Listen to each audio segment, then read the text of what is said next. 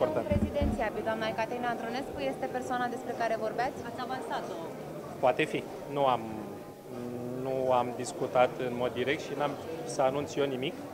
Și o să spun doar că ceea ce am și spus în discurs, dacă există pe partea dreaptă doi candidați foarte puternici, uh, domnul Iohannis și domnul Tăricianu, este obligatoriu să avem și în zona de centru, centru-stânga, un candidat puternic.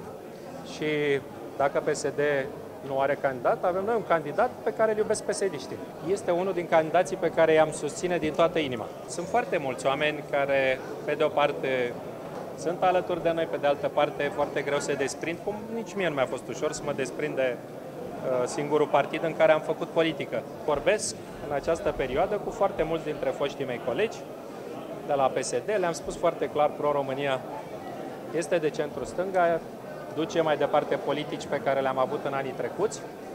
Dacă se va pune problema vreunei alianțe politice, eu cred că cea mai naturală alianță e tot cu PSD-ul, dar sigur, fără domnul Dragnea și echipa domniei sale, și că atunci când au dreptate îi susținem, când n-au dreptate îi criticăm.